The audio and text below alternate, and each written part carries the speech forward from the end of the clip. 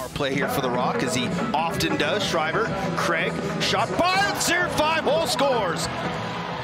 By Eli Salama, quickly up ahead. Shane Simpson on a break. Simpson scores!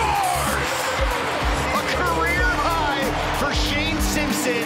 Keel through a screen, scores five hole. Early turf sweep for Stephen Keogh, and the Rock jump out to a 3-1 lead. I'm here on the shot clock. Craig, shot score, short side snipe. Dan Craig and Del Bianco says, yep, that one's on me, I'll take it. The runner's coming through the crease.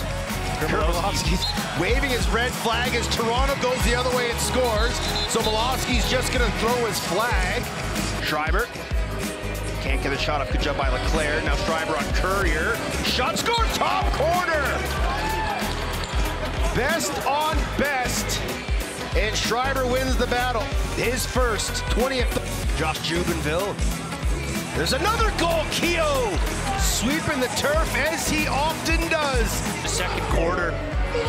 Shot there by Waters, turned aside by the left leg of Rose. Has a man up ahead. It's Currier diving.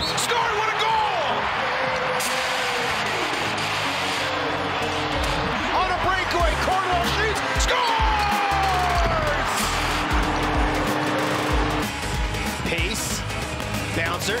Kick saving the beauty from Nick Rose.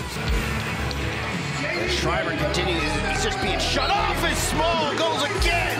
Give him four on the night. He had 12 coming in. Mammoth, who are battling right now down in Denver. Currier inside, one more, and again they try to go five hole on Rose. To Taylor on the far side, gets a pick from King, takes a shot and scores! A bouncer past Rose. And much. Loose ball to Schreiber. Scores! Oh, that's a backbreaker. To King, gets a pick.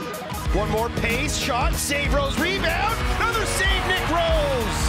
King, backhand flip hair wires. Double clutch, save Nick Rose. Big loose ball here for Latrell Harris. Picked off by Pace